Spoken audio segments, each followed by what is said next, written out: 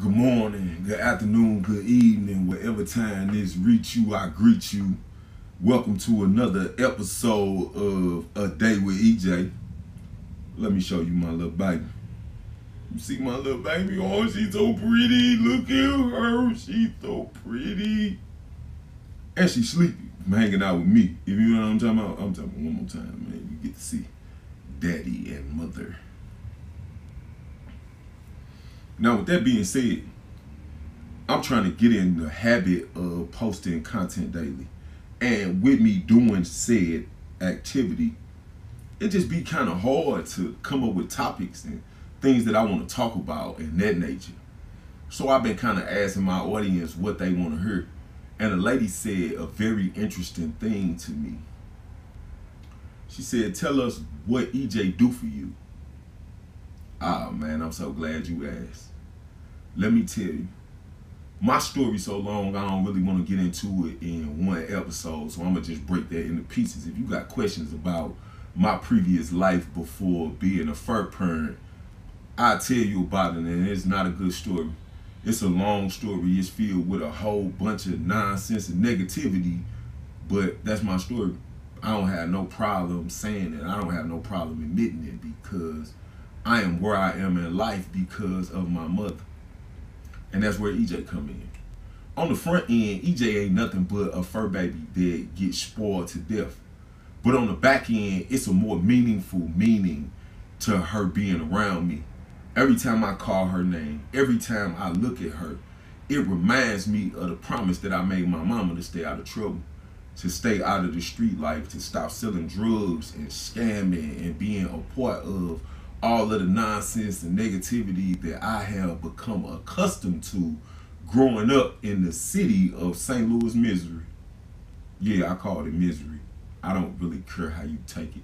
If you got a problem with it, that's on you. But being that I grew up here, man, it's misery, and you already know the rest of the same. It love company.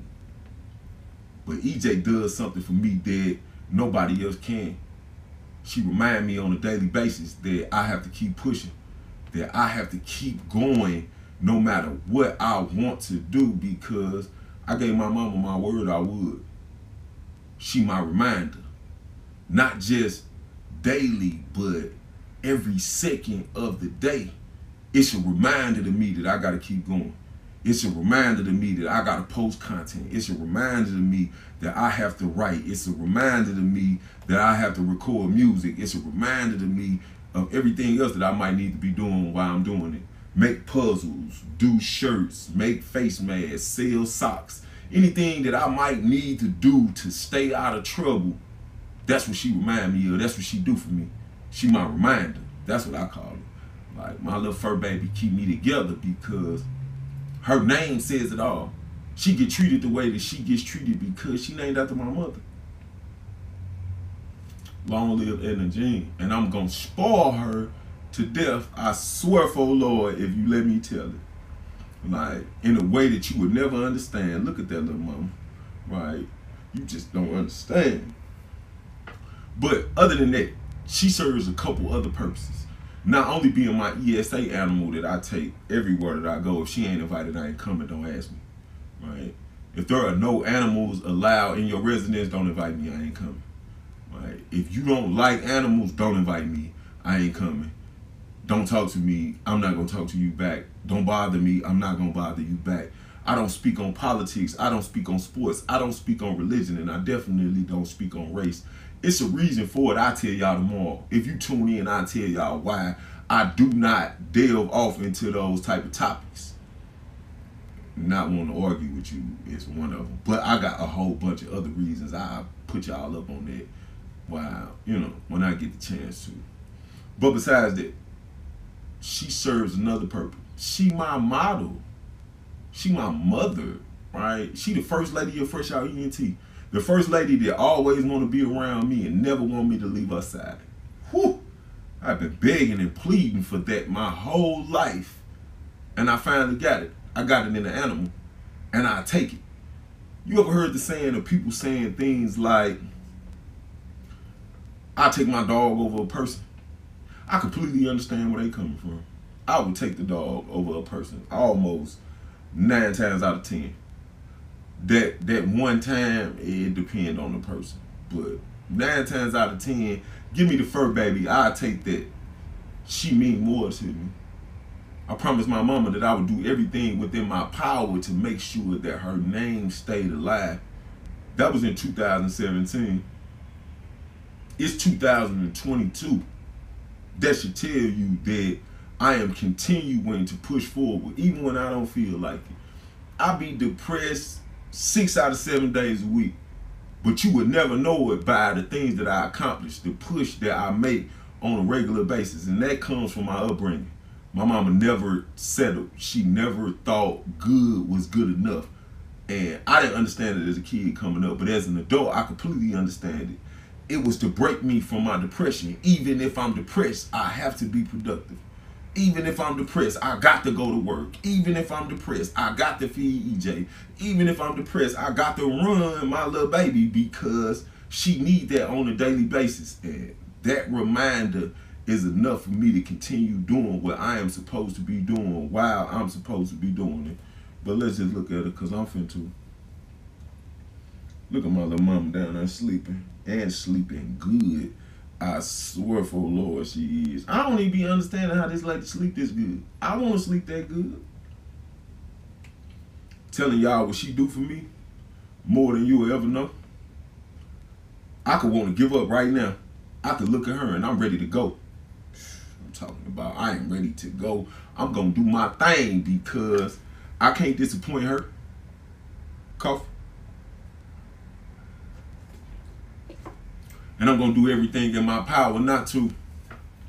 I've been involved in so many situations. I've been in so many bad relationships. This is the first time I've never been in a relationship with anything that was mine and mine only. I didn't have to share it with nobody if I didn't want to or nothing. Whew, that's a feeling you got to keep in mind that I ain't got no kids. I want some, but I don't have any. And the more I try, the more I'm starting to see that I it just might be in the cards for me to be a one on one. That's so depressing. Just saying it out loud, forgive me. I want some kids. I'm talking about it such a way. I want to tell my son or my daughter to go change that channel though I got the remote control, if you get what I'm saying. I don't, you know, that's one of the things that made me really want kids. The way my mama treated me, the way my grandmother treated me, the way my grandfather treated me. And EJ ain't got no thumbs. Can you imagine having a best friend that don't have no thumbs? She do all kind of stuff for me, but she can't let herself out. That is so irky. Right? I can't send her in the kitchen and go get me nothing out the refrigerator because she can't open the door. I got a broke best friend with no thumbs.